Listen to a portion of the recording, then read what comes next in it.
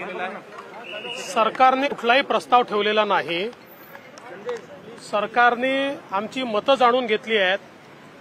ही मतं जाणून घेताना हा जो काही जजमेंट आहे या जजमेंटचं सविस्तर पृथक्करण मी केलेलं आहे. के. कृष्णमूर्तीचं जजमेंट आणि त्याच्यावर आधारित असलेलं खानविलकर साहेबांनी नुकतंच दिलेलं जजमेंट या दोन्ही जजमेंटमध्ये अतिशय स्पष्टपणे सांगितलेलं आहे.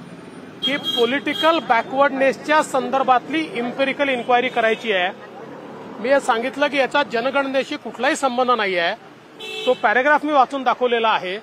आणि ही जी काही इन्क्वायरी करायची आहे ही ट्रिपल टेस्ट सांगितलेली आहे. त्या टेस्टचा पहिला भाग जो आहे तो कमिशन गठीत करणे तो आपण पूर्ण केला आहे त्याचा दुसरा भाग जो आहे तो पॉलिटिकल बॅकवर्डनेसच्या पॅटर्न्समध्ये इन्क्वायरी करणे हे काम त्या कमिशनला करायचं आहे. आणि त्यातली तिसरी टेस्ट जी आहे ती पन्नास टक्क्याची आहे.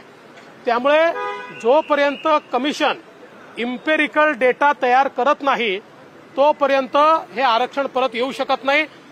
हे मी त्या जजमेंटच्या आधारावर सांगितलं आहे दुसरं दोन हजार एकोणीस सालचं कर्नाटकचं जे सुप्रीम कोर्टातलं चंद्रचूड साहेबांचं जजमेंट आहे तेही मी वाचून दाखवलेलं आहे.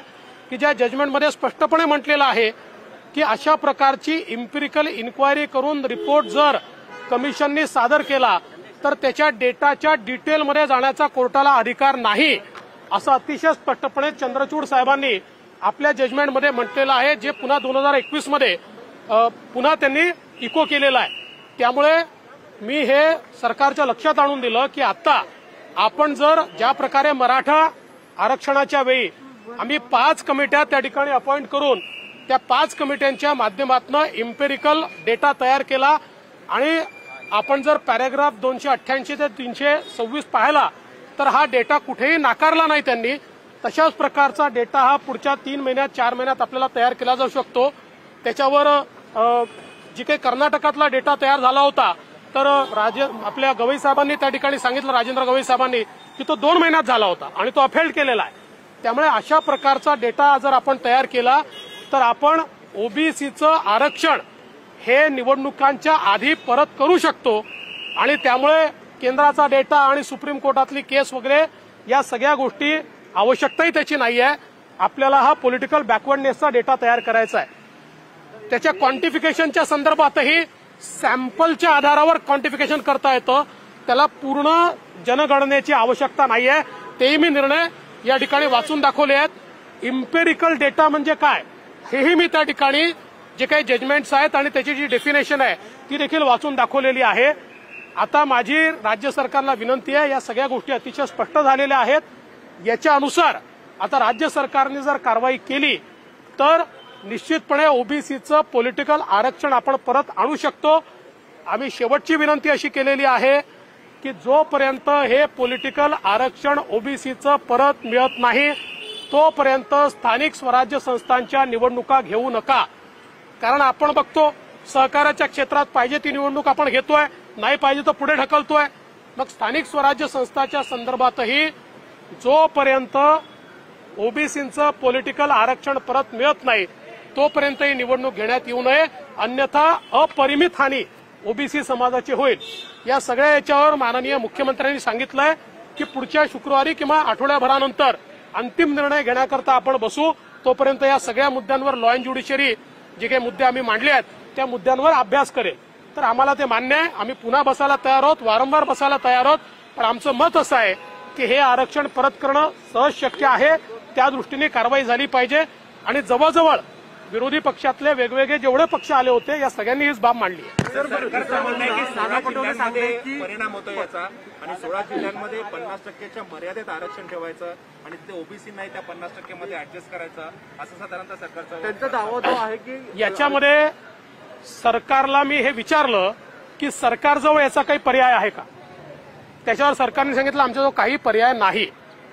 आत्ताच्या परिस्थितीमध्ये पन्नास टक्क्याच्या आत जर ठेवलं तर वीस जिल्ह्यांमध्ये पस्तीस टक्क्यापर्यंत आरक्षण देतात. सत्तावीस ते पस्तीस म्हणजे तिथे वाढवता येतं.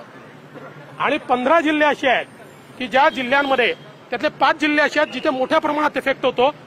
दहा जिल्हे असे आहेत की जिथे बावीस ते सत्तावीस टक्के आरक्षण मिळेल. म्हणजे मूळ प्रश्न हा पाच जिल्ह्यांचा जटिल आहे. तो प्रश्न कसा सोडवायचा याचा विचार सरकारला करावा लागेल. पण त्या संदर्भात आपण पन्नास टक्क्याच्या अटीच्या संदर्भात सर्वोच्च न्यायालयामध्ये गेलो तर हे जे मूळ जजमेंट आहे जस्टिस बालकृष्णन चीफ जस्टिस यांचं घटनापीठाचं आहे. त्यामुळे अजून नऊ जजेस जजेसचा बेंच आपल्याला कॉन्स्टिट्यूट करावा लागेल. म्हणजे पुढचे पाच ते सात वर्ष ओबीसीला एकही जागा रिझर्वेशनमध्ये मिळणार नाही. त्यामुळे ह्या दोन लढाया पॅरल लढल्या पाहिजेत. पहिल्यांदा जवळजवळ वीस जिल्ह्यातलं ऍडिशनल आरक्षण आपल्याला मिळून जे कम्पेन्सेट होत आहे ते घेतलं पाहिजे. दहा जिल्ह्यांमध्ये बावीस ते सत्तावीस टक्के मिळतात ते घेतलं पाहिजे. आणि पाच जिल्ह्यांकरता आपण नीट विचार करून त्यांनाही देताना शक्य आहे. त्याला वेगळा कायदा तयार करावा लागेल. तो कायदा तयार केला पाहिजे आणि त्याच्या व्यतिरिक्त सर्वोच्च न्यायालयात लढायचा तर लढायला पाहिजे. पण केवळ ही भीती दाखवून एकाही ओबीसीला आम्ही आरक्षण देणार नाही.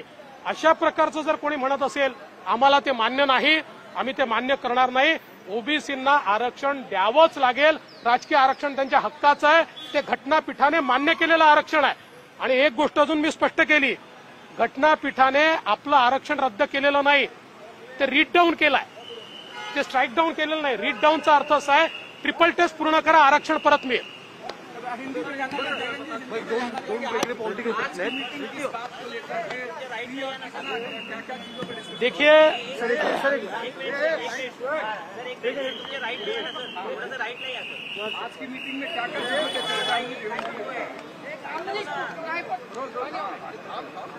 महाराष्ट्र में सुप्रीम कोर्ट के निर्णय से ओबीसी का स्थानिक स्वराज्य संस्था में पूरा का पूरा आरक्षण ये रद्द हो गया है।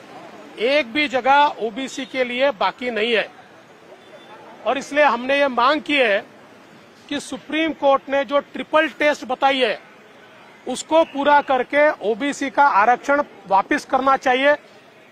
इसमें पॉलिटिकल बैकवर्डनेस का इंपेरिकल इंक्वायरी करने को सुप्रीम कोर्ट ने कहा है, जो अगले दो तीन महीने में हो सकती है, जो हमारा स्टेट बैकवर्ड क्लास कमीशन है। उस कमीशन की ये ज़िम्मेदारी है।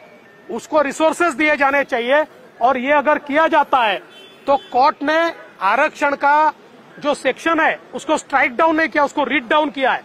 ये ट्रिपल टेस्ट पूरे किए बराबर हमारे ओबीसी समाज को पॉलिटिकल आरक्षण महाराष्ट्र में वापस मिल सकता है और इसलिए हमने मांग की है, ये तुरंत किया जाए।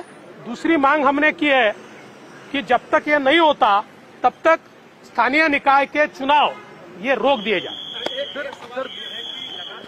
राज्य सरकार कह रही है कि केंद्र एम्पिरिकल डाटा नहीं दे रहा है जिसके कारण ये दिक्कत हो रही है। मैंने आज सुप्रीम कोर्ट का निर्णय लाइन टू लाइन पढ़ के केंद्र का डेटा या सेंसस डेटा है हमको इंपेरिकल इंक्वायरी बताई है और वो भी पॉलिटिकल बैकवर्डनेस के पैटर्न में।